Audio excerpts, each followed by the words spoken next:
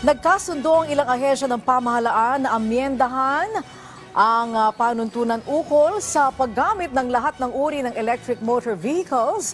Dahil dito, posible ngayong buwan ay kailangan na ring irehistro at magkaroon ng lisensya mga e-trike at mga e-bike. Ang sentro ng balita niya mula kay Bernard Ferrer, live. Angelique, planong i-regulate ng mga gobyerno ng ahensya ang paggamit ng e-vehicle o e-trike sa mga pangunahing lansangan.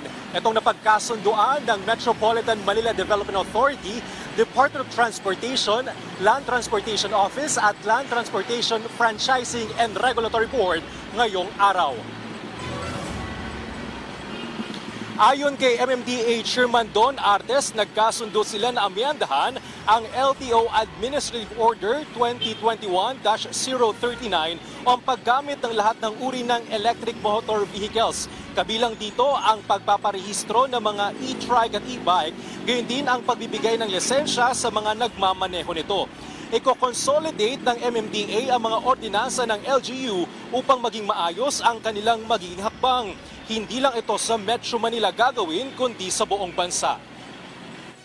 Nakakabahala ito dahil unang-una nga, gumagamit ito ng lansangan, hindi lamang naman barangay road eh.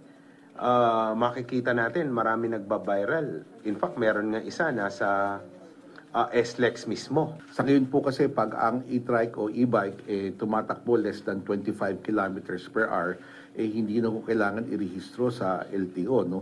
Pero siguro sa, sa mga suggestion rin ng local government units, no, we will take a second look on this.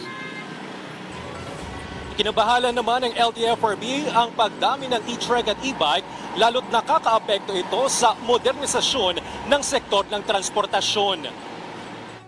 Sa pagdadami ho nito, yun halos hirap po tayo ma-regulate dahil unang-una nga po, walang prangkisa, walang lisensya, walang registration.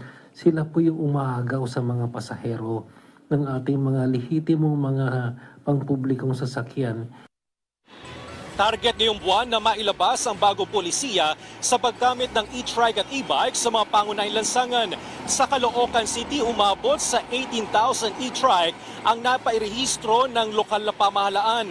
Nakikipag-ugnayan na rin ang LTO sa mga distributor ng uh, e-bike at e-trike at pinabura nila ang pag-regulate sa mga ito. Angelique, sa ngayon ipatutupad ng MMDA ang mga umiiral na ordinansa ng LGU sa e-trike at e-bike habang hinihintay pa ang bagong polisiya hinggil dito. Angelique?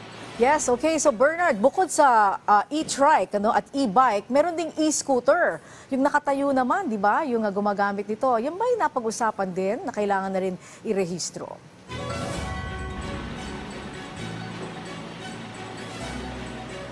Yes, Angelique, kasama ito sa pinag-usapan ng MMDA at ng iba pang ahensya ng gobyerno lalo't nagiging concern ito lalo na sa pagdaan nila sa mga pangunahing lansangan lalo na kung wala silang sapat na protective gear ay nagiging banta na rin sila sa mga kasabay nilang motorista. Angelique?